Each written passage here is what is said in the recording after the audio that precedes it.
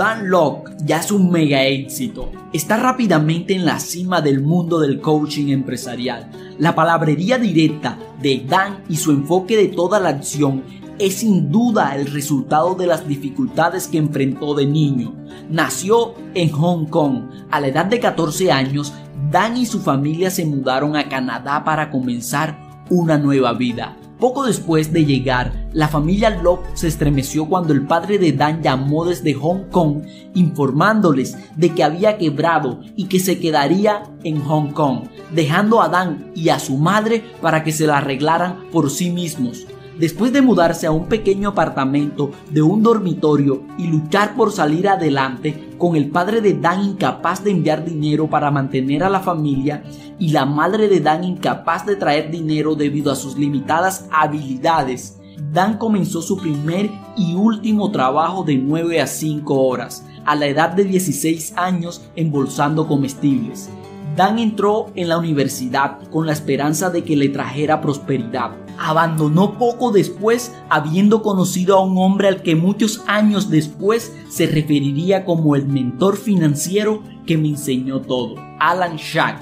Alan le enseñó a Dan la habilidad de escribir. Dan prometió tener éxito suficiente para mantener a sus padres. Dan fracasó en tres empresas comerciales antes de que finalmente experimentara el éxito. Dan admite que si pudiera cambiar algo de su pasado, no habría comenzado todos esos tontos esfuerzos comerciales que finalmente terminaron en un fracaso. Él culpa a la desesperación por los emprendimientos comerciales condenados que agotaron sus recursos, perdieron su tiempo y le quitaron el foco. Pero esas fallas desarrollaron la ahora conocida dirección láser, como la del entrenador de Dan Locke Escuche bien, mientras Dan explica tres poderosos secretos de ventas que cambiarán no solo su enfoque, sino también cómo se puede influir en las mentes de las personas para que compren lo que quieran. Adelante, véndeme esta pluma. Hoy te voy a enseñar cómo vender cualquier cosa a cualquier persona, en cualquier momento. Ahora, cuando se trata de vender, cuando se trata de cerrar, hay muchas técnicas y muchas maneras. Hoy voy a compartir contigo tres poderosos secretos que puedes usar para vender cualquier cosa a cualquiera. El primer secreto es este. Cómo convertir algo que es una mercancía, cómo vender un producto, ¿Cómo vender un servicio en un mercado tan ruidoso? Número uno, entienda esto. Las personas no compran por lógica, la gente compra por emociones y lo justifican con lógica. La gente compra con base en emociones y justifican con lógica. Quiero que pienses en algo que quieras comprar en tu vida. Podría ser un automóvil, podría ser una casa, podría ser cualquier cosa. Quiero que te imagines eso. Una vez que lo tienes en mente, quiero que te hagas esta pregunta. ¿Por qué quieres comprarla? ¿Por qué quieres comprar ese artículo en particular? ¿Por qué quieres tener ese artículo? ¿Por qué es que tal vez es un traje nuevo? Te queda bien. Tal vez es un vestido nuevo. Tal vez es un auto nuevo. Tal vez es una casa nueva. Tal vez son vacaciones, pero ¿por qué la compras? Quiero cavar un poco más profundo. Si atraviesas las capas, creo que te darás cuenta de que estás comprando emociones. Tal vez compras el artículo por codicia. ¿Quieres ganar dinero o quieres ahorrar dinero? O tal vez es por generosidad, que al comprar este artículo vas a ayudar a otras personas. ¿Has notado que a veces incluso las compañías que compran este producto en particular van a donar una cierta cantidad a organizaciones benéficas? Tal vez compras por generosidad, tal vez por la vergüenza de que si no compro esto me veré tonto, si no soy el dueño de esto me veré tonto, o tal vez es el temor de que si no compro esto me voy a perder. No quiero perderme, tal vez es un escape. Ahí vas de vacaciones, tu trabajo de 9 a 5 horas te está volviendo loco. O dices, hombre, necesito algo de tiempo libre. Tal vez haciéndolo comprándolo porque es un escape. Sean cual sean esas razones, a menudo son razones emocionales, así que compras por la emoción y lo justificas con la lógica. Así que piensa cuando le vendes algo a alguien, ¿estás hablando de características y beneficios? ¿De lo que esta cosa haría por ti o estás presionando esos botones emocionales del corazón? Recuerdo una vez que estuve en Harry Rusen, que es una tienda de ropa de hombres muy conocida de alta gama en Vancouver. Entré en la tienda y pasé por la sesión de Tom Ford y el vendedor se me acercó y me dijo, Señor, ¿hay algo en lo que pueda ayudarle? No, solo estoy echando un vistazo y dijo, hazme un favor, ponte este traje. En ese momento nunca había tenido un traje de Tom Ford. Tengo muchos trajes, pero no tengo un traje de Tom Ford. Él dijo, hazme un favor, ponte esto. Dije, está bien, me lo puse. Entonces, ¿cómo te sientes? Bueno, sí se siente muy bien. Vale, pruébate también esto. Ponte este smoking. Dije, está bien, eso es muy bueno. Oh, se me ve muy bien. Dijo, Señor, ¿es usted un fan de James Bond? Dije, ¿quién no es fan de James Bond? Dijo, ¿ves este traje? Este smoking es el mismo traje, exactamente el mismo diseño que él, James Bond, usa en el Casino Royals. ¿Conoces la escena en la que estaba apostando? Se ve bien. Y antes de que te des cuenta, compré el maldito smoking. Y es un montón de dinero cuesta mucho dinero y si piensas en eso, ¿qué estoy comprando? Estoy comprando emociones. Lo que estoy comprando es esto. Estoy comprando cuando llevo este smoking, quiero decir que me siento bien. Como fans de James Bond, me siento como James Bond. Incluso, lógicamente, sé que esto por supuesto no es James Bond.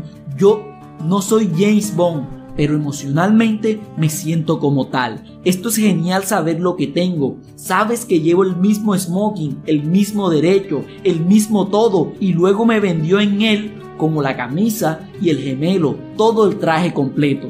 De eso es de lo que estoy hablando. La gente compra por las emociones y justifican con la lógica. Tienes que entender eso. No presiones tus productos, no presiones tus servicios, no presiones las características y beneficios. Piensa en qué son esos botones emocionales que estás presionando. Número 2. La gente no compra su entrada en algo, compra su salida de algo. Significa que la gente muy a menudo compra algo porque tiene un problema que quiere resolver, quiere encontrar su salida de ese problema. La gente no compra el taladro, quiere un agujero en la pared. Entonces, ¿qué es lo que eres? ¿Le estás ayudando a resolver qué problema? ¿Qué es? ¿Qué es esa cosa? Tienes que entender. Así que siempre digo que la cantidad de dinero que ganas es en proporción directa a lo profundo que entiendes el dolor de tu mercado. La cantidad de dinero que ganas está en proporción directa a cuán bien, cuán profundo vas, cuánto entiendes el dolor de tu mercado. Así que tienes que entender lo que es, cuáles son las cosas que la gente tiene y cómo puedes ayudarles a aliviar algo de ese dolor. Así que piensa en eso.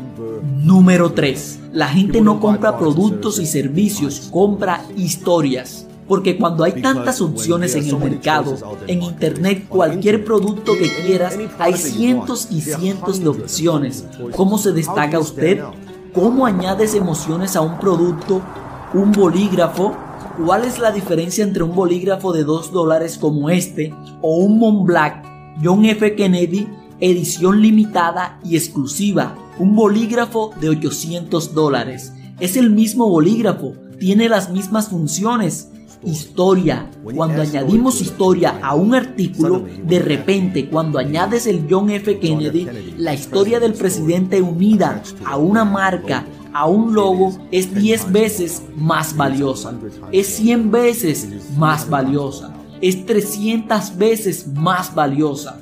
Esa pluma en particular todo por la historia, escribe lo mismo, una pluma de 2 dólares que también puedes escribir. Esa es la diferencia. Así que piensa cuál es la historia, cómo puedes inyectar historias en todo lo que haces. Tal vez es una historia de origen, cómo empezaste, por qué haces lo que haces. También tienes historias de tus clientes. Acabamos de lanzar un nuevo canal en YouTube. Puedes hacer clic en el enlace de abajo y poner un enlace en la descripción para que puedas comprarlo. Es la comunidad global de Dan Locke en YouTube no tiene nada que ver con el programa que enseño, tiene todo que ver con las historias. Estas historias para mis estudiantes, lo que han aprendido, sus antecedentes, Sus historias no tienen nada que ver conmigo, no tienen nada que ver con el programa que dirijo, no tienen nada que ver con eso, sino con historias. Son las historias de otras personas, las historias de éxito de otras personas. Entonces, ¿dónde estás usando las historias en tu marketing, en tu negocio? ¿De qué otra manera puedes usar las historias? Recuerda, los hechos dicen, las historias venden y venden cualquier cosa. Así que comente abajo, dígame, basado en estos tres secretos, cómo me venderán este bolígrafo. Adelante, comenta abajo y véndeme este bolígrafo.